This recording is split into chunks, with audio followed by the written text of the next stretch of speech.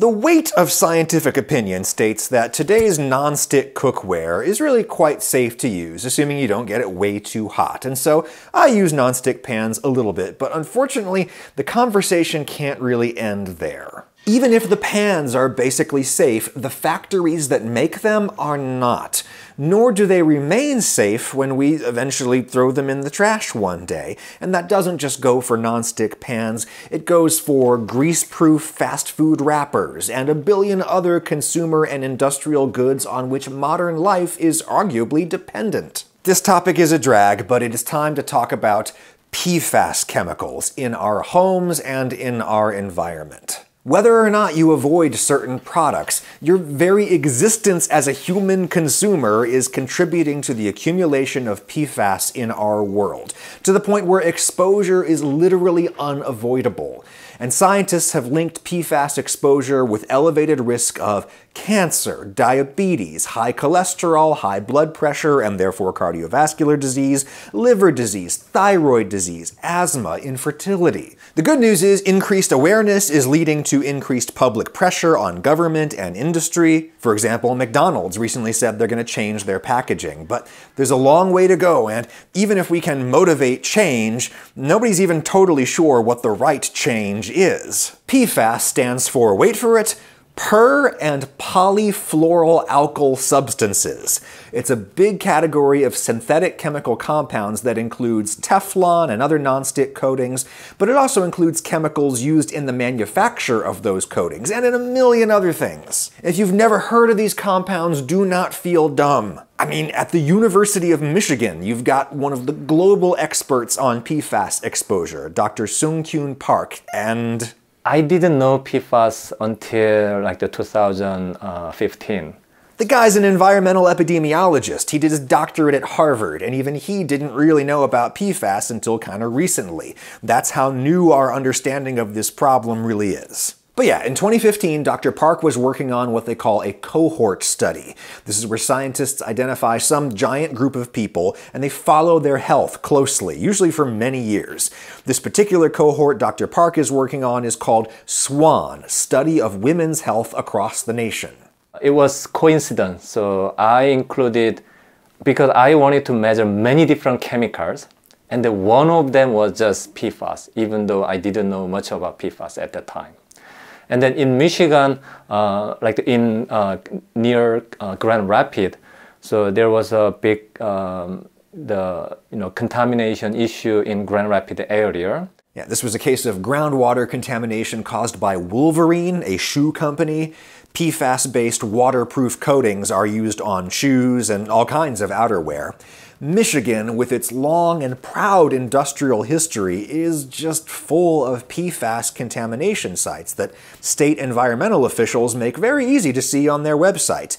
This one here is not a particularly bad one, it's just one that I could film legally from nearby public parks and streets, the BASF Northworks plant just south of Detroit.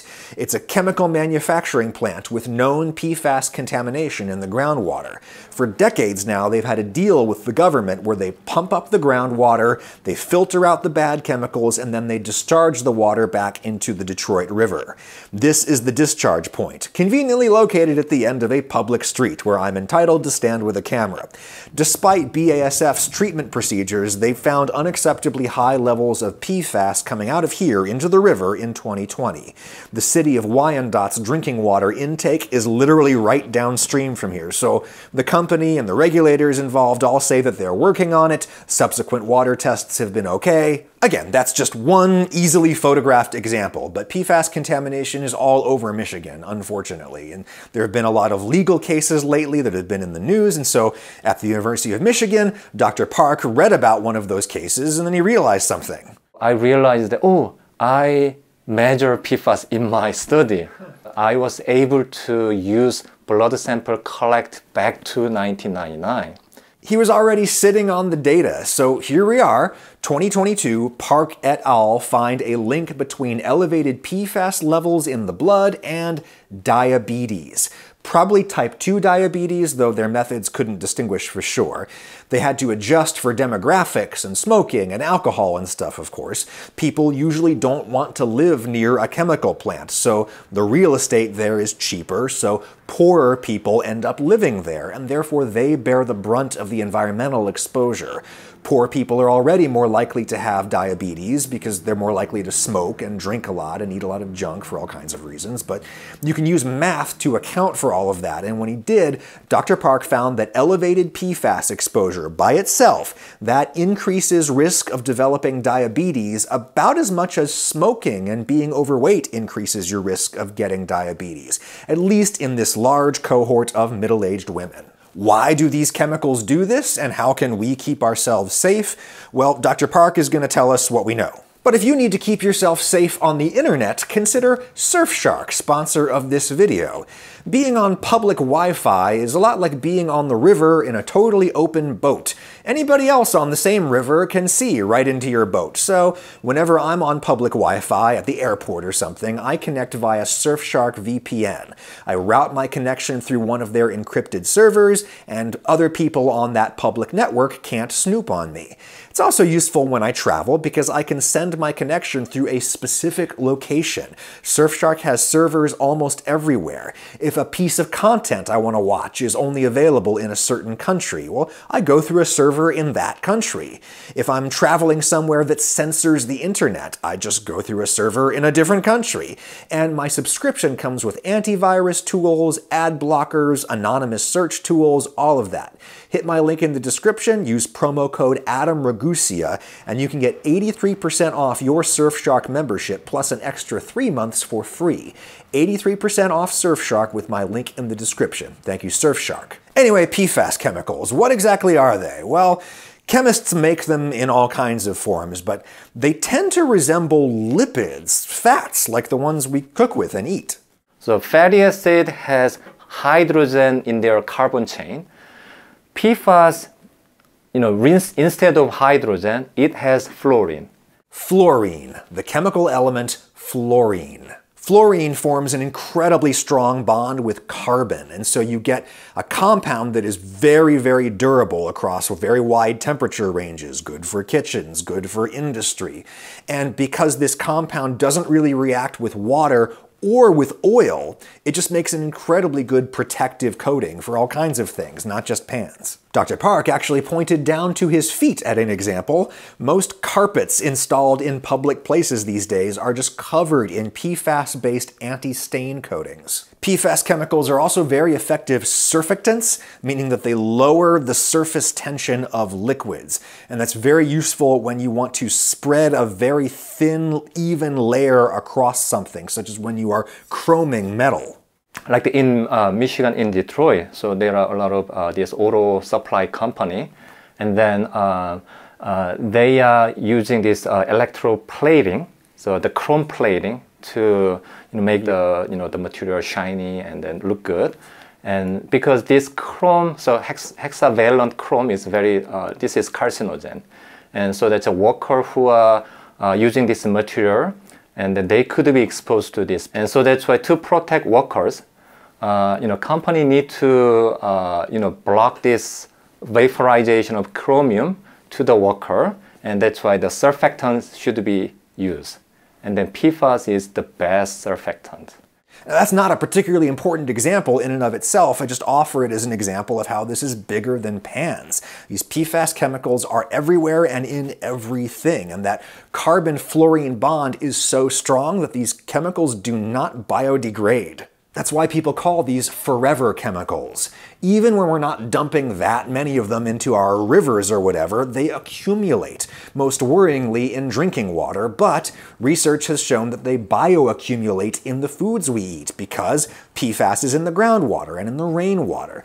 PFAS has also been shown to accumulate in the solid waste they collect out of your sewer system. They recycle that waste as fertilizer, which is good, but then you're putting PFAS into the soil, which is bad. PFAS chemicals can also hop right into our mouths on our fast food. Remember those grease-proof wrappers. Can also get in there from the lipstick that you put on that uses PFAS chemicals as a surfactant. Can also get into your mouth on the dental floss, the kind that kind of glides right between your teeth really nice. That's because it has a non-stick coating on it.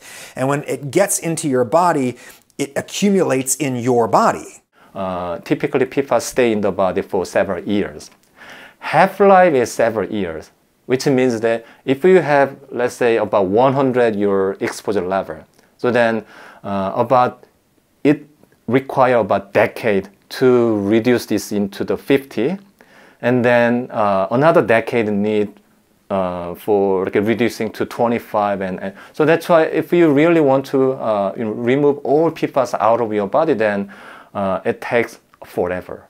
That's happening to all of us all the time. But imagine if you live near some point source of environmental contamination, like a factory or a garbage dump, or an airport or a military base or a water treatment plant. Those aren't very nice places to live usually, so mostly poor people live there. And if you do live there, you're at risk of really high exposure. And why is that so bad? Well, because PFAS chemicals resemble fatty acids on the structural level, and so your cells can actually confuse them for fatty acids and take them in. This PFAS can uh, interfere with this fatty acid me uh, metabolism pathway and that's why PFAS can impact our uh, metabolism and the immune system and, and uh, your brain function and and a recent study also suggests that uh, high P so people with high PFAS in their blood, so uh, their vaccine efficacy is lower, which means that even though you you get vaccinated, so you are not able to uh, produce uh, enough antibody because PFAS interfere with this, you know, vaccine generate this antibody. So that's another big problem.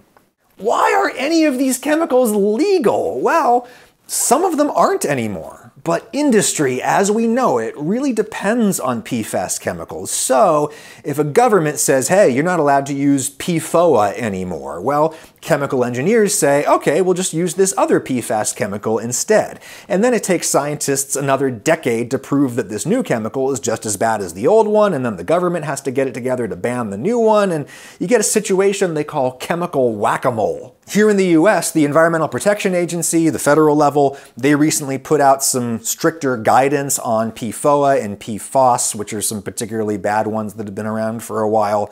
And then you have individual states like Michigan, also Maine, that have been doing some particularly strong state level regulation. But Dr. Park and other experts say it's just really kind of not enough. This is a situation that really requires strong top-down regulation of PFAS chemicals as a class, not just the individual ones, but as a class. We got to regulate them all at the same time. In the meantime, sure, you can flex your muscle as a consumer. Dr. Park will tell you not to buy microwave popcorn, for example. The bags are lined in PFAS chemicals. Then we come back to the pans.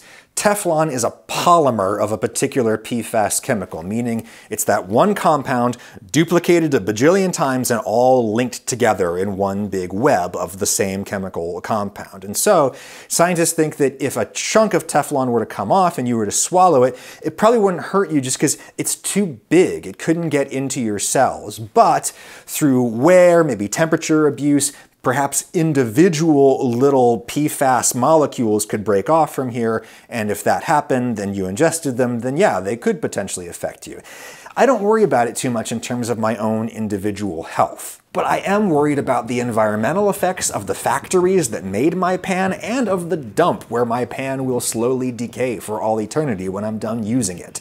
Dr. Park does not use any nonstick cookware. I have one pan that I use as like a specialist, pretty much only for eggs and fish, and I'm gonna try to make it last. No dishwasher, no super aggressive cooking. I've treated nonstick pans as nearly disposable in the past, and that's bad. I'm not gonna do that anymore. But at the end of the day, this strikes me as a problem that's just way too big and diffuse to be addressed meaningfully with individual action. So I say call your elected representatives and Maybe all of us just need to start getting ready for the possibility that certain products we have in our life that we consider indispensable, maybe they're not.